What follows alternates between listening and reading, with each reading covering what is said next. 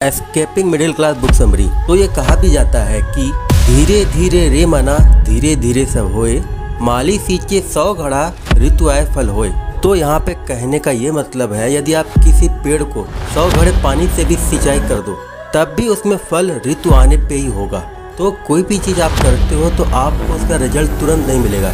Result आने में time लगता है। तो आपको करना क्या पड़ेगा? रिज़ल्ट आने तक आपको पेशेंस बनाए रखना पड़ेगा। आपको ऋतु आने का वेट करना पड़ेगा। ताकि जब आपको रिज़ल्ट मिले तो आपका पूरा पेशेंस जो आपने अभी पे किया है, वो सार्थक रहे।